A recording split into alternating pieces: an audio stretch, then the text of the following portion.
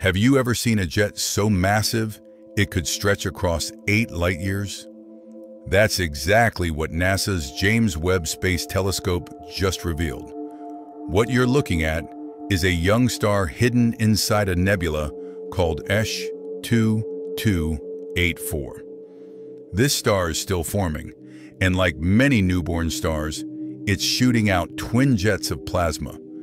But here's the shocking part. One of those jets is more than eight light years long. That's twice the distance from Earth to Alpha Centauri, the closest star system to us. Now why does this matter? When a star is born, it pulls in gas and dust from the surrounding cloud.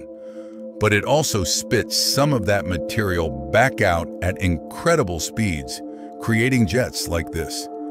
Until Webb, we couldn't see these jets clearly because thick dust blocked our view.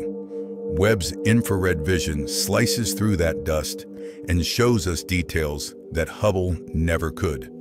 These images are more than just beautiful. They tell astronomers how stars grow, how they shape their neighborhoods, and even how planets may one day form in those systems. Think about it.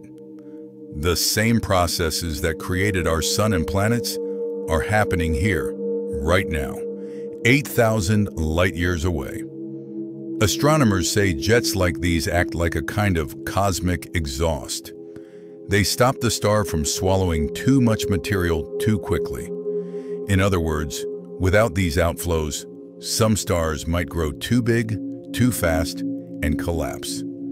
This balance is part of why stars like our Sun live stable, long lives.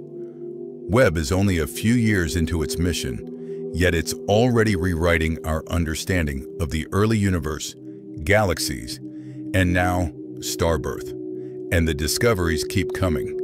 Each new image reveals something we've never seen before. So the next time you look at the night sky, remember, somewhere out there, hidden behind dust clouds, young stars are firing off jets longer than the distance to our nearest neighbor.